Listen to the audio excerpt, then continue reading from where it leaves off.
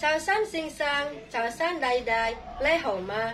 我想介绍自己，我名叫史蒂法蒂玛，我今年三十三岁，我系人喺塔斯马来亚西就法嚟，我嘅身体一百五四厘米，我嘅地主六十二公斤，我读完中学毕业，我敬拜喺会教，我嚟做饭，我有 一个仔五岁，我有八个兄弟姊妹。我以前有经验喺实大立法，呢样年二零十四年到二零十六年，我嘅老板系英国人，照顾新 B B，照顾小朋友六岁，同埋宝宝一七九岁。我嘅老板有五个人，先生、弟弟、B B、小朋友同埋宝宝。 我有正结学嘅实地到底细三同三最数咪数。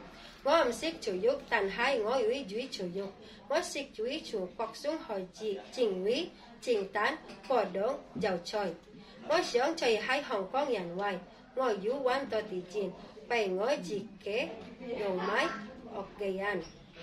先生、弟弟，我希望你会俾我会嚟 억대 적공 tập hiền lấy có giật tiếng quý đền quá, lầu sát cảm lấy ông đầu lán, chỉ tóm, chỉ bóc trở nhẹ ông có say xình sáng, ông có say đầy đấy say kiến hại hồng có.